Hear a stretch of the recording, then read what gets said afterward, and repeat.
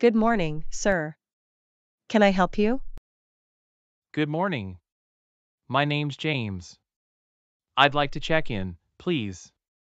I have a reservation for a double room. Yes, Mr. James, let me see.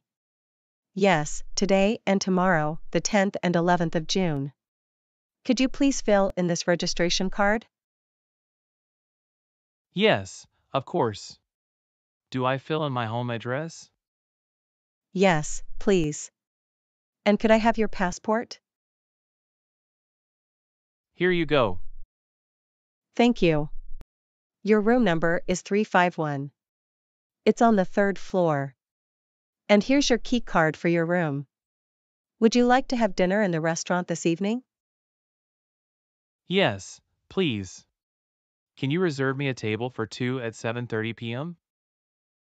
Certainly. The porter will help you with your luggage. Thank you.